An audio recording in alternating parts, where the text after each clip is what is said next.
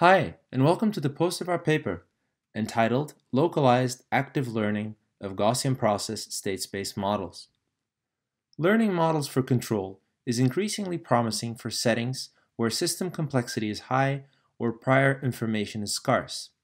When using a learned model for control, it is vital that the model yields accurate predictions. Hence, appropriate exploration strategies are required. Many exploration strategies explore the state space by steering the system to regions of high uncertainty, aiming to obtain a globally accurate model. However, this may be unsuited for systems with large or even unbounded state spaces due to time and memory limitations. Furthermore, control tasks typically only require a model that is locally accurate to perform well. Our aim is to exploit this aspect to increase the efficiency of exploration. Our problem setting considers a partially unknown dynamic system with stochastic disturbance as, show as shown here. As the function f is assumed to be known, our goal is to learn the unknown function g such that it yields accurate predictions on a bounded subset of the state space denoted xref. xref may be, for example, the region associated with a particular control task.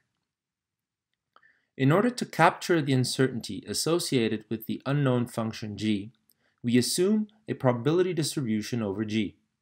This is expressed by a Gaussian process, which assigns a Gaussian distribution to any finite number of function evaluations, depending on the collected data.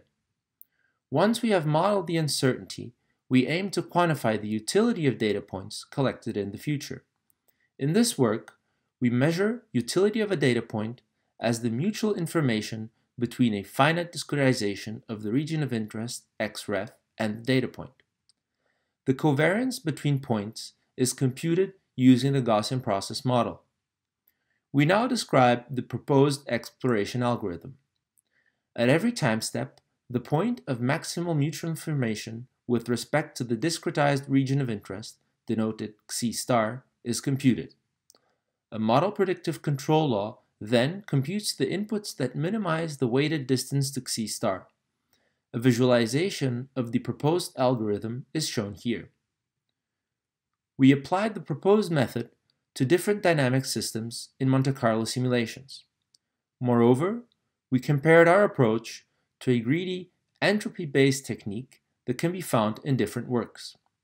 Our algorithm consistently yielded more accurate models after a limited number of time, time steps than the entropy-based approach. Furthermore, our method obtained a good local model after a handful of iterations in settings where the state space is unbounded. In such settings, the entropy-based method failed to obtain a good model even after a high number of time steps. Thank you very much for listening, and I look forward to your questions and remarks.